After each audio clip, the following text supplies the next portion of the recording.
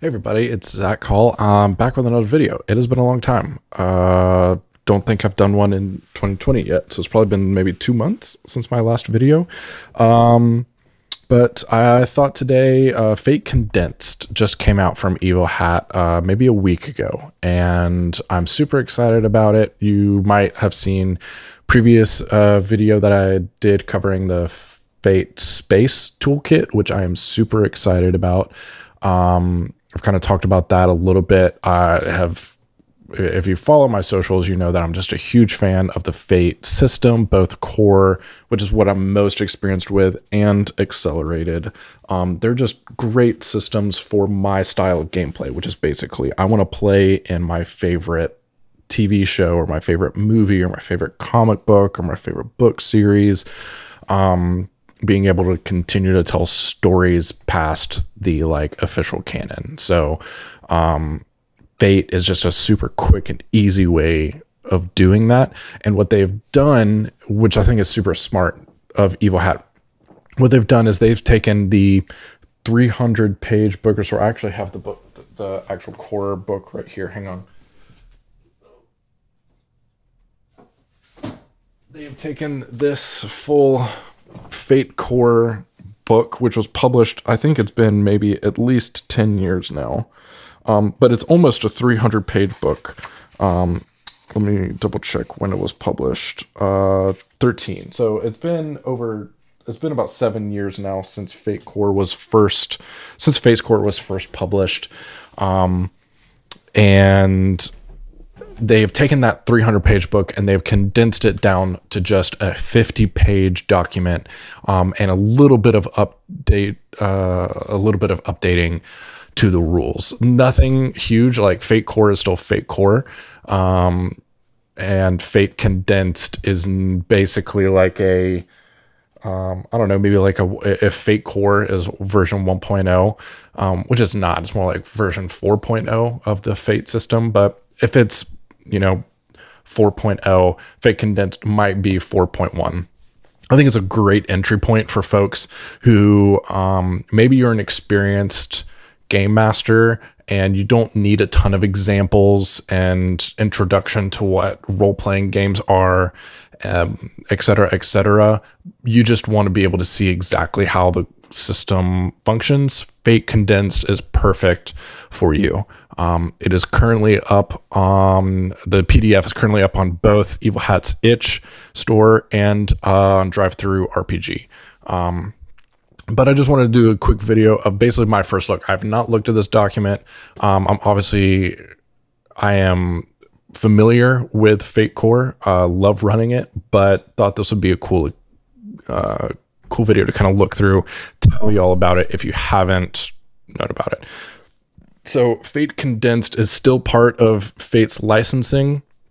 So Fate runs in the similar way of like Powered by the Apocalypse uh, runs that if you want to run a game, um, they have all of almost all of their game rules is up on the Fate SRD that you can use um, in your own game if you're running something. Um, I believe Fate Condensed was part of a the the Kickstarter for Fate of Cthulhu, um, and so uh, yeah, very excited. So look at this. The technically okay, so 52 pages, um, but really 50 pages since introduction starts at page three, and the last page seems to be 52. So all of this system is being thrown into 50 pages, which I just think is great.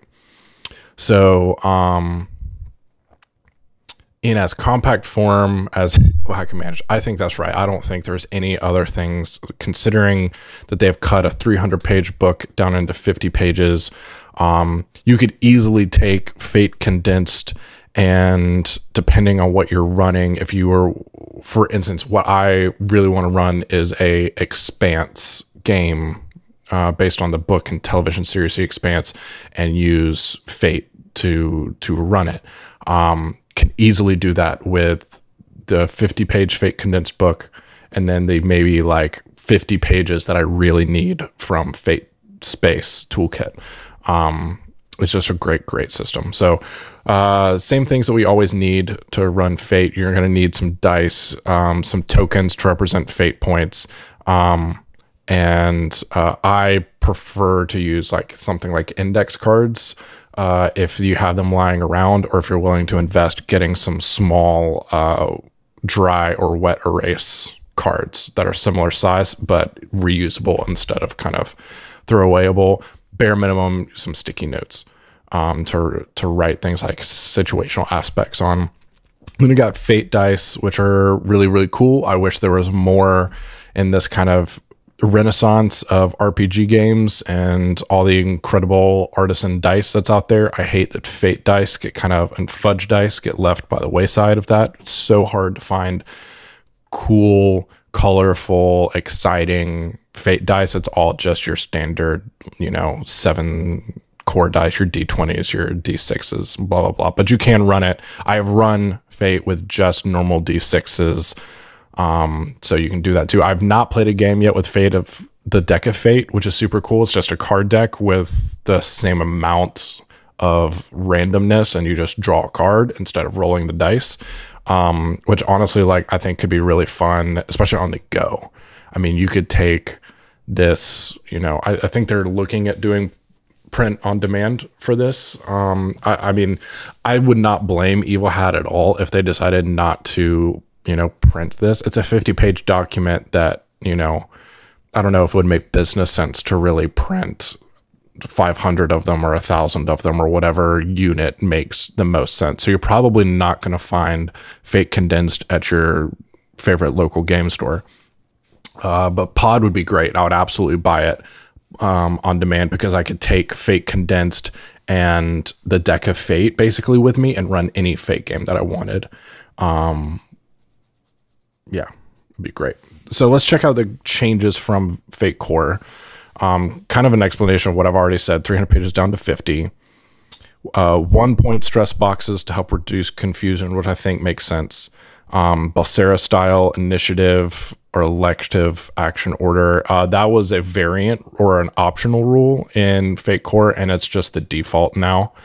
Um, which I think makes sense. Uh, I see other game systems do this really well. Uh, I think the one I have seen it the most useful and do the most is with um, Star Trek Adventures. They do kind of popcorn initiative, just players choose who they want to who wants to go first, and then you swap over to the adversaries. Um, so super cool, uh, but that's now the default uh, so they've made some changes to advancement by eliminating significant milestones and finessing major to compensate. I think that probably will make sense. We'll I'll take a look at that on page 39 here in a little bit, but um, I have found that Fate games are generally one shots or short games. Like you're not going to see a like because it's not a leveled style game like a Pathfinder or a D&D,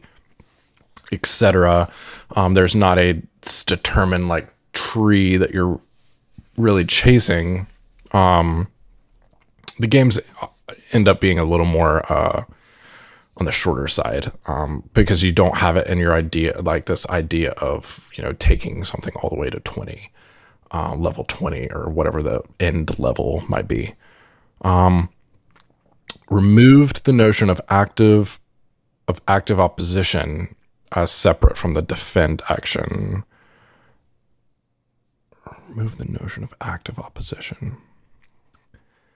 Oh, okay. So yeah, so in Fate Core, there used to actually be this active opposition that wasn't the same thing as using the defend action, which does kind of muddy the waters. But like, what am I actually supposed to use defend for? So they've taken that out, and then there's some effects about that for a tie result. So that's cool. Um, they now actually bring up full defense. Um, and it looks like defend action has had an ex- expanded scope, which is good because I think it needed to kind of see a little bit more to make it useful. Um, and then they've are presenting some additional rules from DFA and Fate Adversary, which is super cool because, you know, the one, if you kind of have a hitch about Fate, it's that while everything is so darn cheap, for what the amazing game system you're getting is that some rules do get spread out over different systems. So like if you want to run a full like a magic system that you want to bring a certain level of like crunchiness to, you should probably go find the rules from Dresden Files and get it. Um, and then they've got all the toolkits, which are amazing if you run a lot of Fate games, but it does mean collecting a couple different PDFs. So I like a lot that they have pulled in a couple different rule sets that have found themselves popular with the community and they're just putting it here in Fate Condensed instead of leaving it up to those other books. So we've got uh, our getting started. Uh, I re first off, I really like. I mean, so no art which you know what you're getting. I think if you if you pay or are getting Fate condensed, um, you know that it's cut out as much fluff as possible. And I while I think art is great, I love looking at art and it does kind of can bring you into a world and give you an idea of what a world is supposed to look like it does become trying as a GM who's just trying to read through a PDF, potentially even on my phone or on my tablet, of like scrolling past full page art to try to get to the rule set that I need. So I really actually like that there is a just pr very printer friendly, no art, just bare bones available rule set that I can just get. And I wish more folks would do that, even if it was an included price, included cost to the normal rule set of like, oh, also here's our kind of like condensed version of the Pathfinder rules, which would obviously be like still huge, kind of hard to take a 550 page book um, and narrow that down. So we're going to define our setting. Um, we're then going to create our characters. And uh, I mean, same stuff that Fate already has. We've got aspects, skills, stunts, stress, consequences, your refresh, and then like your personal details and stuff. Aspects are what drives fate. And so the the very first thing you're on page four, you're already reading about aspects. Um, I again as a GM, a forever GM trademark, um, being able to have a 50 page document that I can send to potential new players, like if I'm running a new actual play and using Fate instead of sending a 300 page book, PDF or otherwise to my players, having this, this is just make it so much easier to hand out to players just to immediately know here's what you need to know to be able to run this game. Um, so we've got aspects that are short phrases of who your character is or what's important to them. Um, the first thing to know about them is aspects are true. Um, so, in other words, how you define your character is real and true in the story that you are telling. So, if you write down that your character is a precog sniper, then they are a precog sniper. You've told everyone that your future sees the future and is a crack shot with a rifle. I love aspects, and honestly, like as a as I read fiction or as I watch movies, I've even started to think of what would this character's high concept be? Um, high con or what would their other kind of like free aspects of their trouble be? So really popular one. I've been rereading the Dresden Files book series. It's my favorite of all time, and a new book's coming out this year. I think it's the book, the the series 20th anniversary, and so I'm I'm going back through it. And obviously, Fate is an, an, evil hat has the Dresden Files IP for role playing games, and so we have a Dresden Files role playing game that has concepts. Um, but the main character, Harry Dresden, his high concept would be that he is a you know wizard detective in Chicago, and wizard detective in Chicago, even if you just said wizard detective, those two words tell you a lot about the world that you're playing in. You're saying that magic is real. My character has the ability to use magic. Um, I am a detective, so I'm really good at investigations, potentially at talking with people, at finding out stuff. Um, being just those two words tell you so much about the character, and it's so important when you are creating your fate character. And honestly like even as like i read and consume fiction it just makes a ton of sense that like even if you're an author or a potential like uh, a uh, you know maybe you want to become an author i feel like fate games and rpg games in general such a great way of creating your own characters. Um, just get something on paper. So you've got your trouble something that makes your life a little more complicated and then a relationship with another pc and i love role-playing games that in character creation you are creating relationships with your other player characters your adventuring party if you will. It makes session zero and session one go so much easier when you have pre established relationships and that there's a history there, that a life has been lived and that you have already created relationships with the people that you're adventuring with instead of um, your classic trope you meet in a tavern kind of stuff. Um, a couple free aspects. Uh, and then we have the skills and the skill ladder. Um, I'll be honest, I always just use the the rating instead of the adjectives because I can't keep it straight. But if I was going to create a, I mean, the skill ladder is absolutely the number one thing that would be on a Fate GM screen if you are the type to to run with a screen. Um, so you choose your character skills: one great, two good, three fair, four average, and all others mediocre. Another thing that I love about Fate is that you can leave some of your skills empty and decide in game that hey like i left two of my average skills and one of my fair skills empty and i'm getting into a situation where i'm to need to i want to use a skill that i haven't assigned a a rating yet i'm to go ahead and uh, put uh, i didn't think that or wasn't sure how good my character was at picking locks um, but session one, I'm in a situation where I need to break into something, so I'm going to go ahead and put bur burglary in my in my plus two skill. Great, I love that flexibility. Um, because yeah, you don't always know exactly who your character is going to be when you get into the game. So we've got a description of our default skill lists. Um, it's super easy to swap one in and out, rename something to make sure that it fits with your setting but overall, I find that they're really great. I will say the one thing that uh, running the game, so many people don't think of, especially if you're running a modern game and it's the first modern setting game that your players have played in if they're used to like D&D or something they think of drive as like almost like willpower as like the ability to like push through in a situation. And I was like no this is you driving a car uh, like I can't get it, drive can't get more literal than that. But if you don't read the description, you're like, oh yeah, I put a ton in drive because I've a you know they're really driven to like accomplish something. I was like, nope, that's not not only an aspect, a great aspect, not this skill. I love that it's just I love this plain lookout layout for it. So easy to go. Um, they couldn't squeeze all the skill descriptions into two pages. Uh, it would be great if you could just lay them out and have them all there, like in a book, but no problem. Uh, will gets thrown out there at the end. Um, and then alternative skill list. So when you're building your own implementation of Fate, the first thing to think about is whether or not you'll keep the same skill list. Absolutely. Skill list is the game for the most part.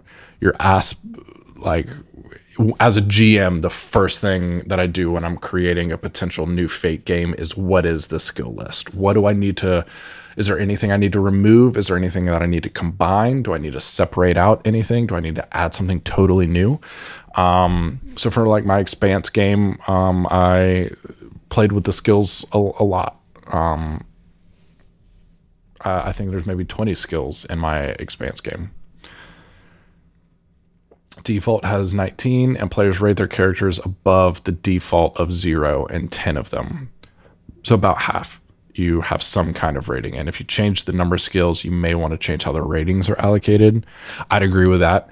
If you add more skills, maybe add an additional fair um, or good skill, just so that I, I would say it, it's probably good to keep your players at, you know, in divided by two or n divided by two minus one skills that they have rating in.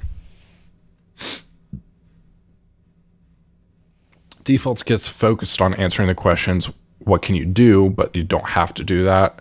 If you want a list focused on what do you believe, or the question, how do you do things, which is basically how Fate Accelerated does. Um, job roles and a crew and so on. I mean, that would get really creative. I have never like uh, I have not besides approaches, which is a the Fate accelerated replacement of skills, which is basically you have six approaches to things.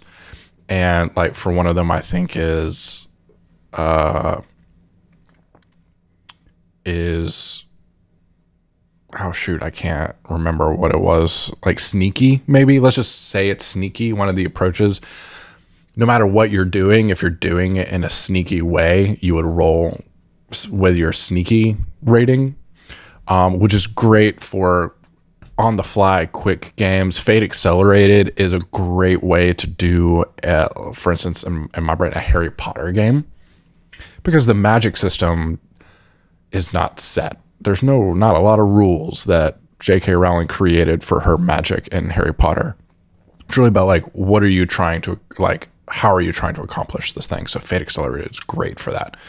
Um, then skill ratings in Fate are structured to support character niches. That's why in the default players start with a pyramid shape. I really do like the skill pyramid of basically like you have your one starting at great, and then you have a couple more that are good. You have a couple more that are fair um, is just good for for balance.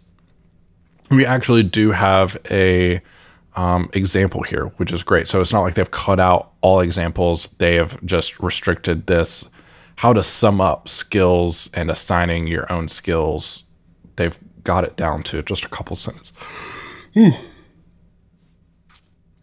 Excuse me, just a couple sentences, which is awesome. We got refresh, which is the minimum number of fate points that you start with. You start with three. Um, you can also, uh, depending on what kind of rule set you're using, you can have more or less fate, uh, more refresh. Um, so like you could do a trade off of like adding a new stunt in exchange for having a, a refresh. And then stunts are the what I have found the best way to explain stunts is that the game has rules and then stunts allow you to bend the rules in your character's favor. So probably the, the number one way that I've seen a stunt used is um, you can uh, give yourself a bonus for like a really specific instance or to let you in a very specific instance let you use a skill that you otherwise couldn't use so um, a stunt would potentially let you roll burglary for a social situation. Um, I can't think of a really great example for that right now, but like using a, a, skill in place of another skill that other characters couldn't do to let you kind of do the thing that you're really good at as much as possible. Um, that's kind of what I've seen stunts be the most helpful with. Um, some great stuff for, oh, and here's basically what I just said. You've got example bonus grant, you've got bonus granting stunts, and then you've got rule changing stunts, with the number one being swapping skills used in a given situation. Um, oh yeah, so like using stealth to backstab somebody instead of using the fight skill. That's absolutely like that is a like almost a given stunt depending on what kind of character you're building. Um,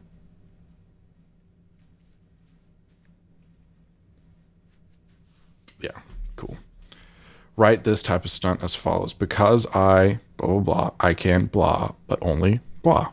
Yep.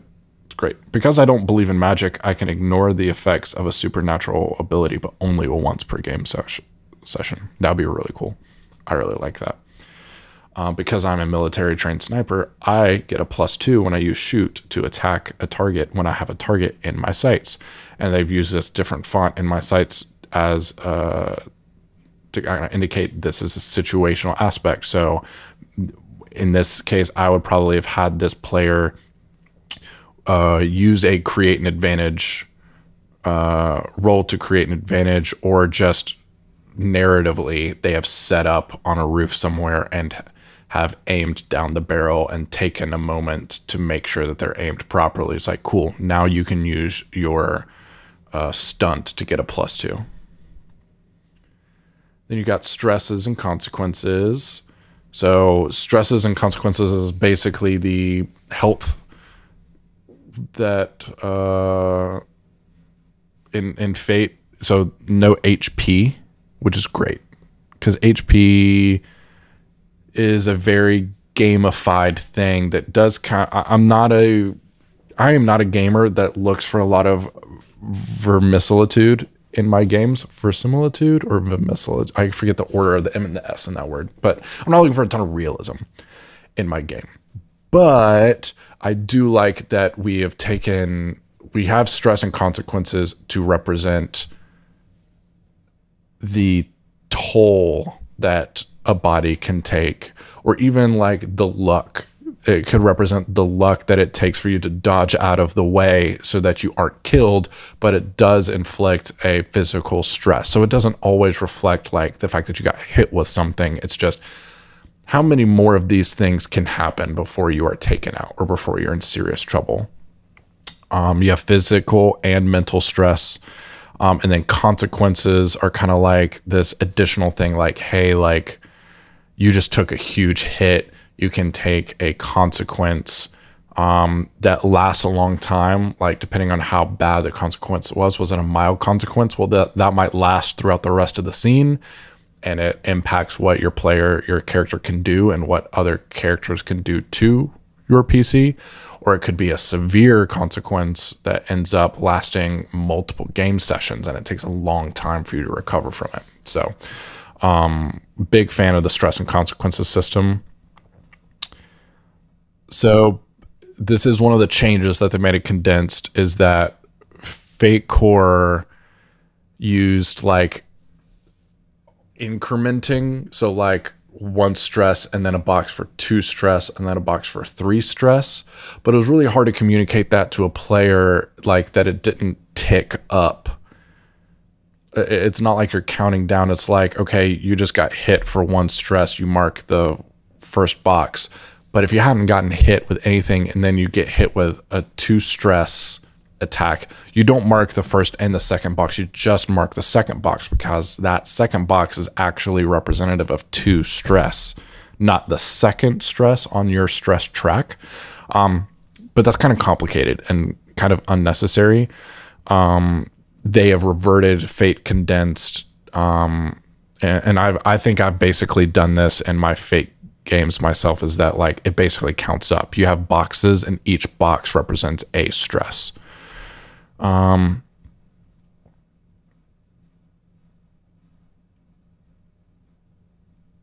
yeah, so like in Fate Condensed, you would mark multiple boxes depending on how much stress you got hit. It, with Fate Core and default, you only mark one box for each time you got hit or something happened to you.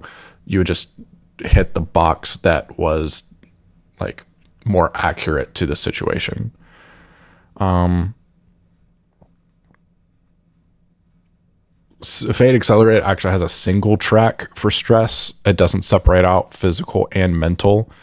Um, I don't particularly care either way. It just depends on what kind of game you're running. Um, yeah, I would say that because of the way the game is kind of run, I would probably almost make default four or five stress. Um, and you'd have to, we might have to play around with that. So we got rolling the die. Blah, blah. Uh, number one rule: fiction first. I love, love, love, love that in Fate. It's like the idea isn't to find, and this is a difference in you know your stand like your more common D and D Pathfinder games is you know I'm gonna look at my character sheet and my character sheet's going to tell me what I can do, and then I'm going to decide what I can do based on what my character sheet tells me. That I like that's a fun game to play. I still play that game a ton. but my favorite way to play is actually being able to tell a story and I decide what my character does without even really having to look at my character sheet. My character sheet doesn't dictate the box that I have to play in. Let the fiction of the story that we're all telling together play out. And then, based on what I decide my character should do, then I figure out okay, what are the mechanics that look like that? And that's a, a that's a team decision made at the table with you, the player, the GM, even involving the other players to see like, does this skill make the most sense? Um, and I love that type of game. I have I love fiction first fate games. So much fun. Um. So uh, your standard, you know, I'm gonna do this. The GM either sets a difficulty level that you need to hit in order to succeed, or you are being actively opposed and someone, uh, you know, the GM or an, I guess I could potentially another PC could roll a defend action and you compare the two. Um, and it's great. Um, so, I mean, basically it. Um, so you can invoke aspects to kind of get you, um, you know, addition uh, to what you rolled. You try to invoke a, uh, you can spend a fate point that is kind of like Star Trek uh, Adventures has momentum. the players have momentum, and then the GM has threat, but they're essentially the same same thing just named different things because of the the story that Star Trek Adventures is telling. In in Fate, the GM has their own pool of fate points, and then each player has their pool of fate points. Your refresh dictates to you how much fate points you start out a session with. Um, and the the big the thing that makes fate kind of fun and and the game like the gamification of fate is this economy around fate points is deciding, okay, I'm going to act in this way in this situation in order to try to get as many fate points as possible. I'm going to try to do as well as I can in this situation that might not like it might be pretty easy, but I'm going to go all out. Um or I'm going to, you know, I'm going to do the least amount as possible to reserve my fate points so that I can hang on to them for because I know I've got that big boss that's coming up. Um, playing with that fate point economy, um, allowing something bad to happen to your character in a moment where maybe it, it doesn't really matter in the long term in order to accrue more fate points so that you can then use them to be a badass in like the next scene or a couple scenes down the line um, is great. So you can spend a fate point to invoke it, or free invokes are all over the place. You know, uh, a lot of stunts, or your create an advantage action creates aspects that have a free invoke where you don't have to um, spend a fate point to invoke it, and that gives you an automatic plus two to whatever roll uh, if you are invoking an aspect. Um, and then we've got the bogus rule. Anybody at the table can say that's bogus to invoking in effect. Simply put, the bogus rule is a calibration tool anyone in the table can use to help the group make sure the game stays true to its vision. Um, bogus rule is included in their uh, safety tools, which I love that they're including safety tools. Um, and they found like it's a 50 page document that they have created and they is just true to the people that Evil Hat are, that they still found the space and the appropriate amount of effort to put in for um, talking about safety tools, which is great. Um, oh, so this is a great example of like someone invoking the aspect great at first impressions to throw a car. Yeah, that's likely bogus. Um, but maybe that character has a supernatural stunt that makes them incredibly strong, strong enough to plausibly throw a car and this is their opening gambit in a fight with a horrible monster. I mean, maybe I would still probably say that that's pretty bogus. Um, great at first impressions. Well, I don't know. Maybe like if they were trying to intimidate but again, that's why Fate really is a fiction first game. You have to kind of describe and talk out like not only what your character is doing, but what is their emotional state? What are they trying to accomplish by the, performing the action they're doing? My player says, I would really like to flip this car over using my supernatural strength in order to try to either impress or intimidate the the enemy and really make a big show of my strength. Like great then yeah you are great at first impressions even if it's a negative or an intimidating impression. Absolutely invoke that aspect. Um, that would be a personal aspect like an, a character aspect that is on their sheet that does cost a fate point to um, to invoke so you can either do a plus two bonus to your roll or re-roll all four dice um, which is great because you can decide to invoke an aspect after you roll. Love it. Um, you can only invoke the same aspect, um, you or you can't invoke the same aspect multiple times on the same roll, but you can spend as many free invokes on an aspect as you would like on the same roll. Most often, you'll invoke one of your character aspects, but sometimes you'll invoke a situation aspect or even make a hostile invocation of another character's aspect. Yep. So you stunts, then you have outcomes. So the difference between the effort, so like your total between any skill bonuses or aspect bonuses and what you rolled on the dice, all that combined is your effort. The difference between your effort and whatever the difficulty was determined to be is measured in shifts. So if you beat the difficulty by one, that's a one shift um, value. Um, and those shifts determine how much stress you might be putting onto excuse me, a character. So if your effort's less than the target difficulty, you fail. if your effort's equal to the target, you tie. If your effort's one or two shifts target more than the target, you succeed. And then if you average three or more shifts more than target, you succeed with style.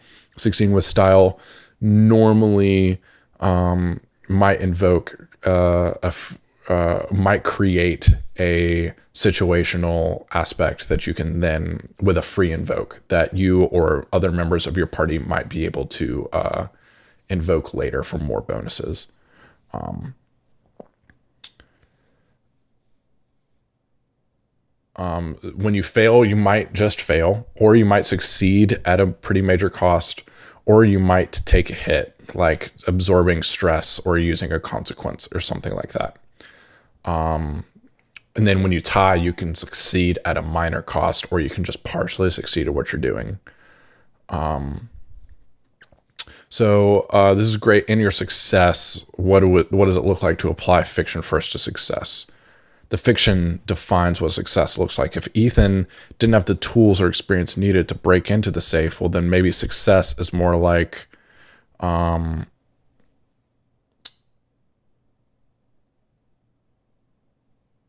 if the like he was able to like pull a couple of pages out of the safe like in a crack or something um in it so if the team if ethan was on the team because he built the safe that success might look like more like with our with style example. Yeah. So like yeah again fiction first. Like what if if you told us what you were attempting to do hopefully like the best players in fate tell you more than i want to attempt to open the safe. Okay what are you doing to attempt like, what are you doing to open the safe? What are you hoping to achieve by doing this? Blah, blah, blah. And then you can just add more to the story, the fiction of it once uh, your, you know, the result has been determined. So there's four actions. You've got overcome, you've got create an advantage, you've got attack and defend. So um, these are kind of like the biggest things um, and again, I don't really mean to make this like a Fate Core explanation video, but I do find that a lot of folks, you know, they maybe haven't played with Fate Core before, and so they might not know the system. So hopefully, you know, if you're running across this video because it's talking about Fate Condensed, which is a fairly new product, but you've never played Fate Core before, hopefully this is a cool explanation. Um, the the overcome is basically being able to, you know, athletics to climb over walls, um, investigate, putting together clues. Um, these are, I, I think of overcoming almost like your generic skill check in D&D. You're trying to navigate through a forest. You would use your overcome action um, to and a certain whatever skill, whether it's athletics or blah blah blah, to kind of get you through the forest. Um, creating an advantage is honestly like that's the biggest thing that players have a hard time grasping in Fate, um, especially if you're in a like combat or an encounter scenario, um, where creating an advantage is actually the best thing to do in a situation while but so many characters are just, or so many players are just used to attacking and try attempting to cause damage where you know if you can get it if you can kind of explain to your your team of like we're telling a story and we're just having to use dice to decide if that story works. So just because you have a gun doesn't mean you would immediately shoot at the target. What if instead you decided to try to shoot out the one light in this warehouse to create an advantage so that it's pitch black, but then your werewolf friend who can see in the dark, he can then use that situational aspect to create like give himself a boost on his next thing.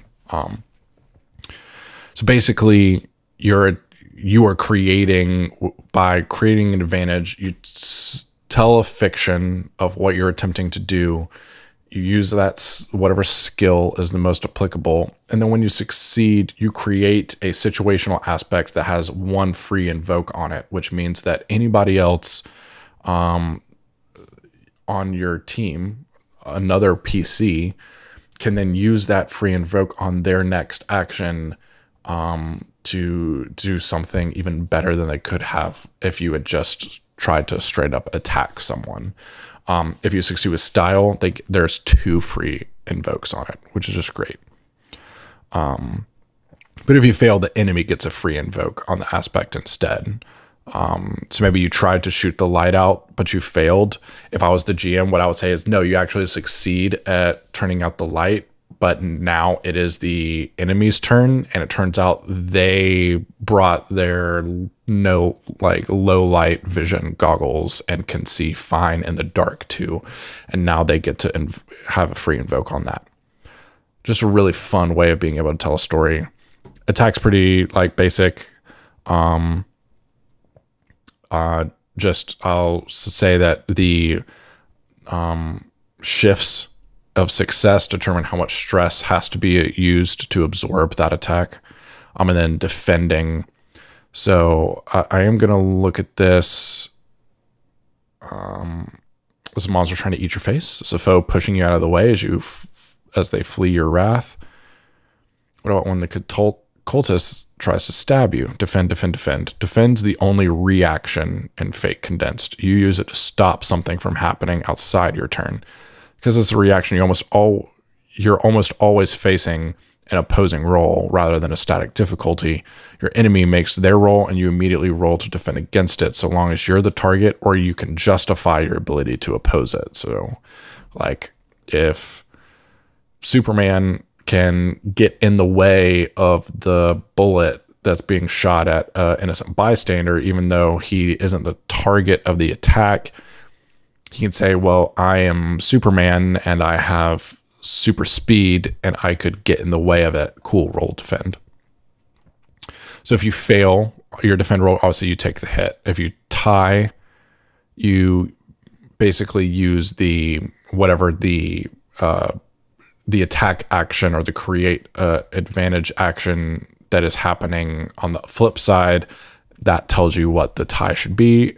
If you succeed, you don't take the hit or you deny the enemy's action. And then if you succeed with style, you don't take the hit, you deny the enemy's action, and you even get a boost, which is awesome, a plus one to something that you can then use in the moment. So, um, default list of skills follow these guidelines. Fights and scoot. Fight and shoot.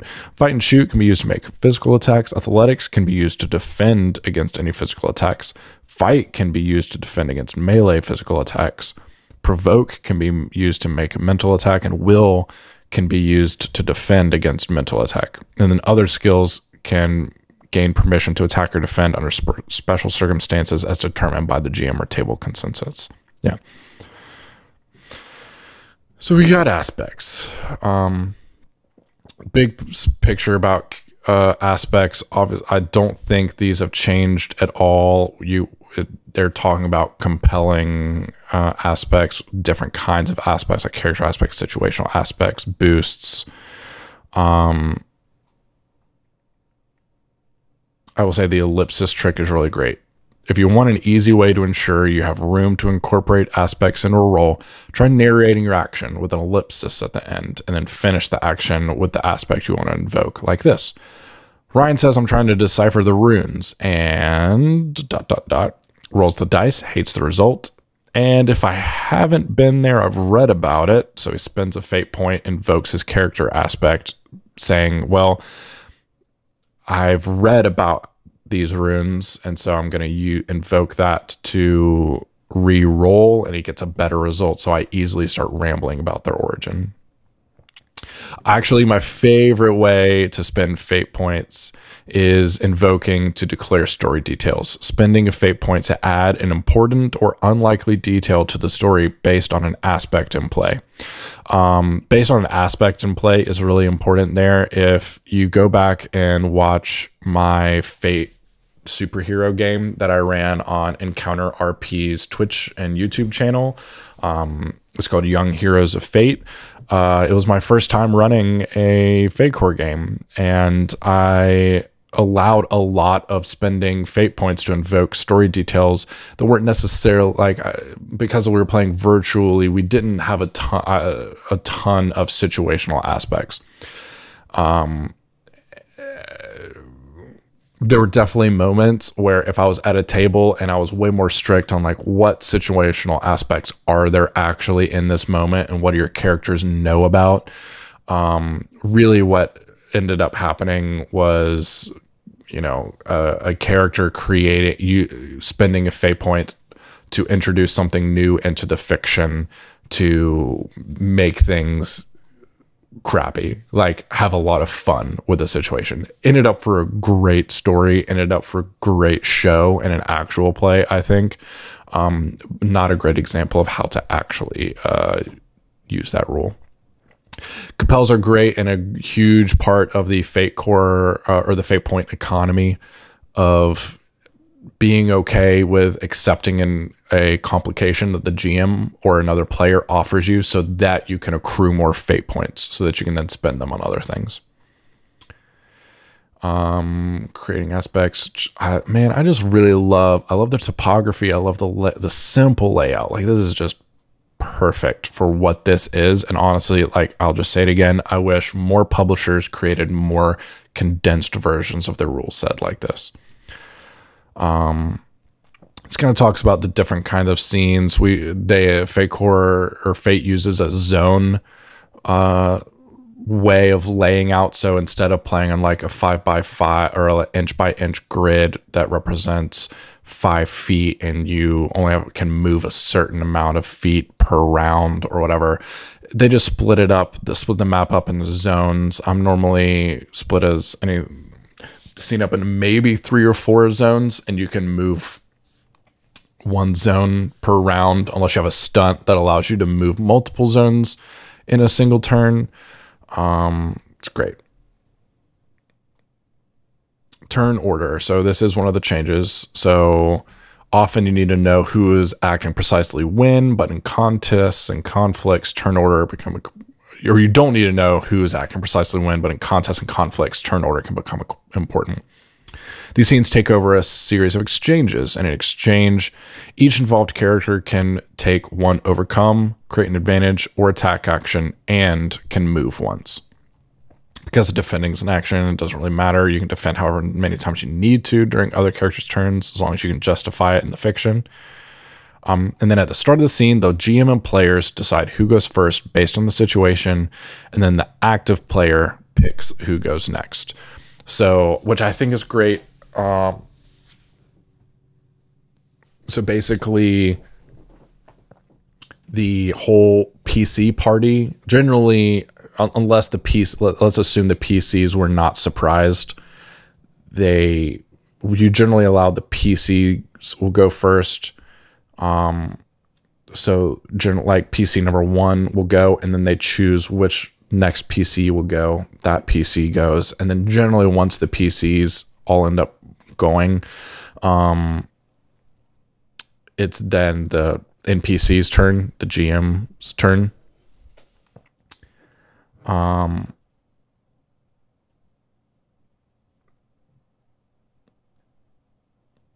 I think you know I I really like that idea. It it is less about uh, you there there isn't an initiative roll which um, does signify to the players like you've entered into like this whole this new kind of scene.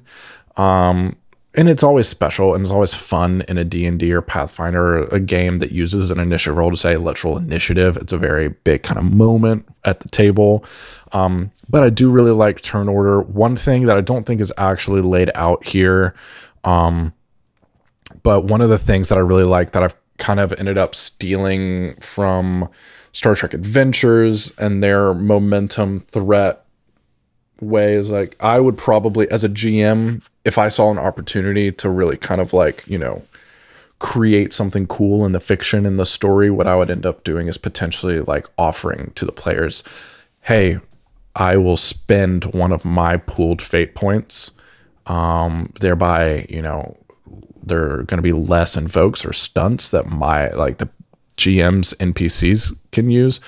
I'm offering to spend one of my own fate points if I can jump in here and I can take over the initiative for my NPCs. And it's up to the players. That's something that I would kind of offer. I don't see that laid out in the rules, um, but it'd be a lot of fun.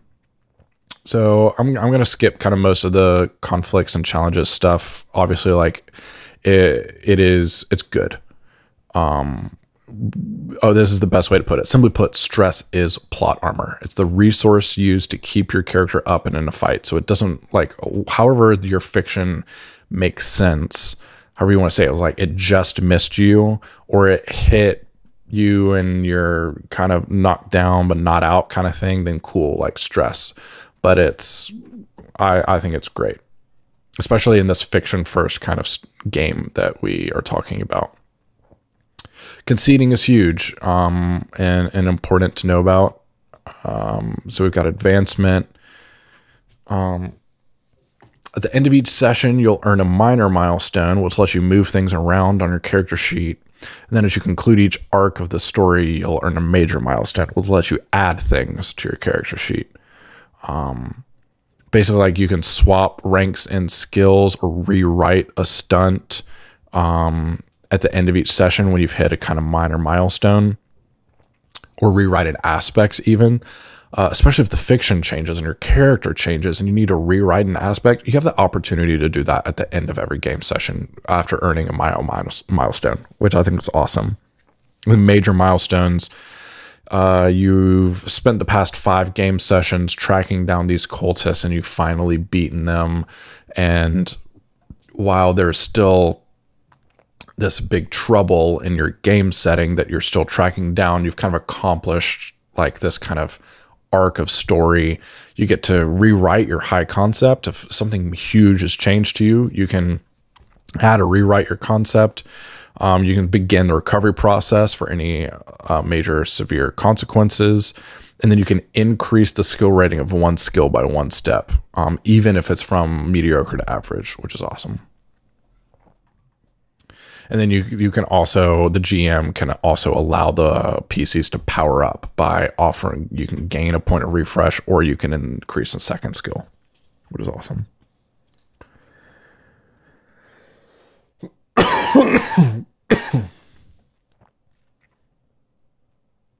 I do really like the pyramid. You can't move uh, like in this instance, you could not level up one level one skill to a level two skill because you would then have more plus two skills than you have plus one. Like you still have to kind of achieve this pyramid column look. You got some GM stuff, which is, I mean, fairly basic for running beast GM, uh, running RPG games making sure the key things for me is is uh, besides the rule stuff and blah blah blah making sure everybody gets the spotlight and then complicating the pc's lives and building off of their player choices. This is how you make a good game and that sh- should be true for no matter what game you're running. Blah blah blah. It gives you some npc rules. There is an entire just over a page which is great. Um, but there's an entire toolkit called the fate adversary kit about uh, creating uh, adversary NPCs, and it's important. So we've got our safety tools that talk about the X card and gives you the link for it, which is awesome. And then the script change RPG toolbox, which I actually have not looked at, um, which it provides options to pause, rewind, skip ahead, or more using. Um, I might have to look into that. That's really really cool. From Brie Beau Sheldon. Um, cool. I might have to look at that. Um, I, I, am a fan of the X card, but I do the, the script change toolbox does sound really really interesting. So you got some ops, uh, some optional rules like conditions, um, versions of conditions, character creation as you play, which we've I kind of mentioned. Um, extreme consequences full defense. Sometimes a player or GM may want their character to go all in on using defend until their next turn rather than taking an action. This is called full defense. When declaring full defense, you must be clear about the focus of your efforts. By default, you're defending yourself from attacks and efforts to create advantages on you, but you may wish to specify someone you're protecting or defense against a particular group of aggressors. While on full defense, you get a plus two to all defend defend rolls relevant to your declared focus. That's cool. And then if nothing comes of it and you don't roll a defend at all, you gain a boost, which is cool. Like it, it's not a huge thing.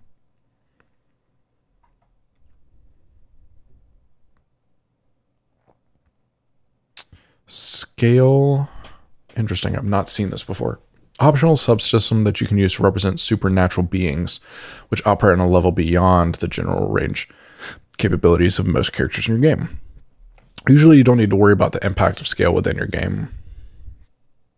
I would agree. Like, if, let's say, you're playing a Dresden Files game, um, unless you are specifically creating a game about really, really, really low level, mediocre magic users going up against big big things, which I wouldn't recommend because it just like that you're you're setting your players up for a lot of failure unless you have a clear cut advancement for them like they have the ability to gain more power um normally scale's not going to come in. So you may wish to change mundane represents characters without access supernatural who do have access otherworldly unusual or unique characters, legendary, and then godlike. When applying scale to two opposing forces or individuals, compare the size levels.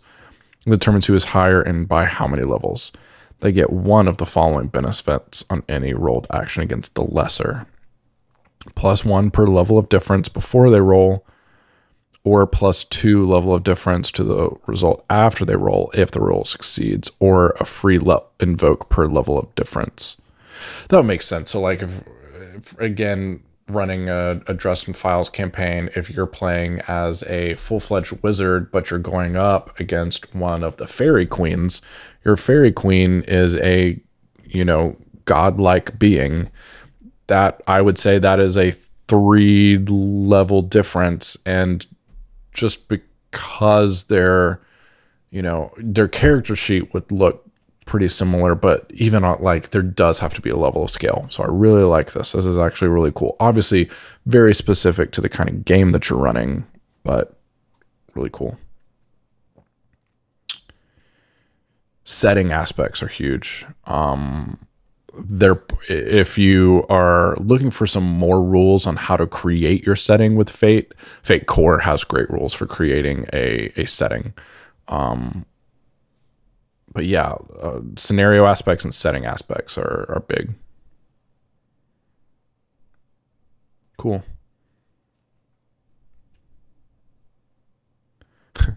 Reveal true form is amazing. Um, a solo bonus. That's cool. Where D and D, the such a huge issue is like having to throw bigger and bigger things at your powerful party members, but a lot of times it's just one enemy against your party. Giving like a solo bonus is is cool.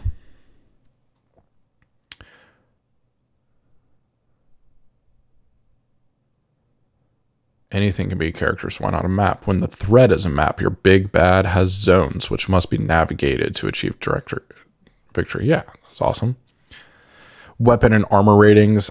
This does introduce a bigger of uh, crunch to the game um, that I would hesitate to bring in um, unless you are really trying to show the power that your your person has. So like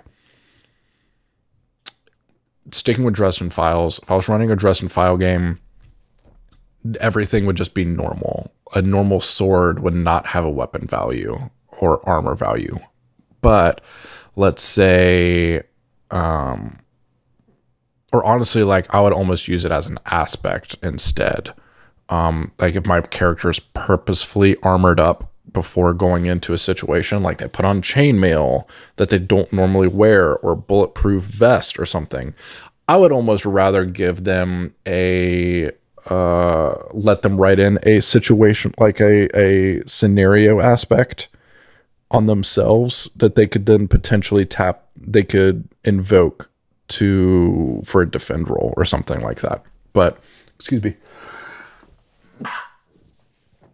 but in Dresden Files, there's these magical swords that uh, are wrought from the nails that hung Jesus Christ of Nazareth on a certain cross. Um, and I mean, without getting into religion, I myself am not religious. Uh, they carry faith with them. And so these swords have these nails embedded in them. I would probably give the the knights uh, or the the swords of the the Holy Cross, I would probably give them a weapon rating just to show how powerful those things are. But I would use it very very sparingly. Ooh, I love this character sheet. This is great. I might actually steal this and convert it into a fillable PDF, uh, where and that you can change the the skills because this would this would be great for anything but this is great. I like this a lot more than the existing one but that's it. That is uh that's that's fate condensed. Um uh yeah love it. 10 out of 10 evil hat. Thank you so much for creating this product. This is fantastic for hopefully new players coming to Fate and for existing GMs and players of Fate. I think this is absolutely fantastic. Um, so if you would like to purchase this, I will have links in the description to Evil Hat's itch itch store and uh, RPG, and I will update the description if a POD version ever becomes available. Um, quick update: I did a, a previous video on the Space Toolkit um, that has like exited its beta and has art and it is getting printed, which is awesome. Like not just POD, it's actually getting printed and you could pre-order it or order it at your favorite local game store. So if you enjoyed that video and maybe you had the PDF, but you're like me and your favorite games, you kind of want to collect hard copies, the Space Toolkit is now available uh, or is about to be available in print. I think I saw Fred Hicks post on Twitter that it will be available like mid March. So be on the lookout for that.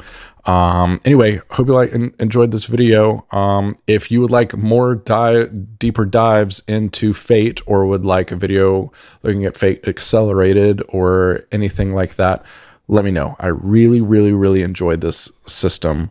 Um, I do. I actually think if I'm going to start doing a little more videos uh, I, am moving past Pathfinder and might start looking at Star Trek Adventures because I've started watching some actual plays and really enjoy how it seems how it looks at the table, but I have not really read the rule books yet. But I'm a Trekkie myself.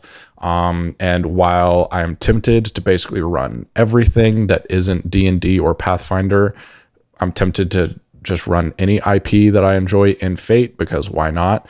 Um, things like The Expanse, Star Trek, that Star Wars even that already has its own kind of system for like it's worth checking out. Maybe there's some ideas we can steal. Like Momentum and Threat, I'm a big fan of in Star Trek Adventures. So if you like that, let me know.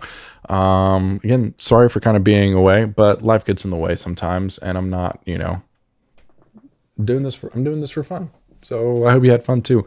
Uh, again, thanks to Evil Hat for creating this great product. Uh, I hope you really enjoyed it. If you did like it, please buy it. Um, I'm actually pretty sure this product is pay what you want on itch and probably even DriveThru. Um, but please support incredible RPG products. Um, this PDF is well worth a couple of bucks of your your hard-earned money. Even five bucks uh, goes a long way to showing uh, the company Evil Hat that this is something the community wants. So, um, anyway, thanks again for watching. Hope you enjoyed. We'll see you next time.